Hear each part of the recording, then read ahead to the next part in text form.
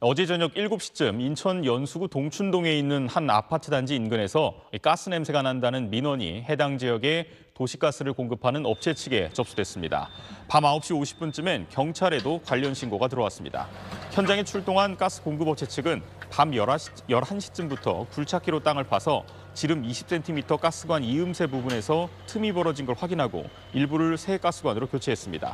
업체 측은 가스관이 노후돼 틈이 생긴 것으로 추정된다고 밝혔습니다.